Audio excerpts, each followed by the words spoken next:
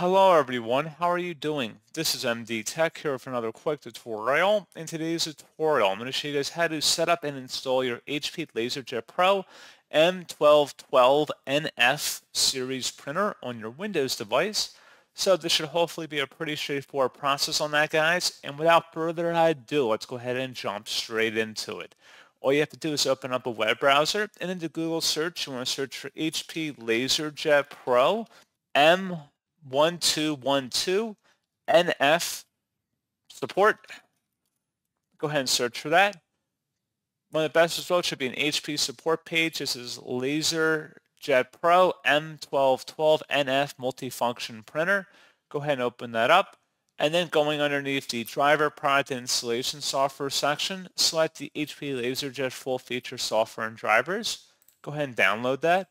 And then once it's downloaded to your system, go ahead and open up that file to run it. And just let that extract.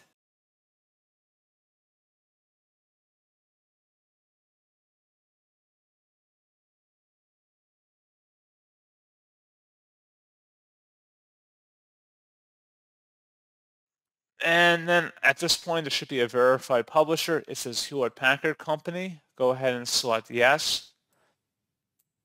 And then you can select your options for printer installation, whether you want to do an easy install or an advanced install. And you just would select next to proceed here. Select your printer from the list. And like I said, we're doing the 1212 series, so we're going to select that. You can see there's a whole magnitude of different printers you can select in here. There's quite a number. And then once you've made your selection, you're going to just go ahead and select next to continue with the install.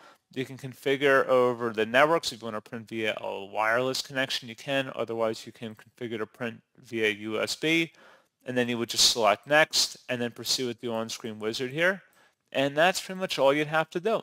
So as always, thank you guys for watching this brief tutorial. do hope that I was able to help you out, and I do look forward to catching you all in the next tutorial. Goodbye.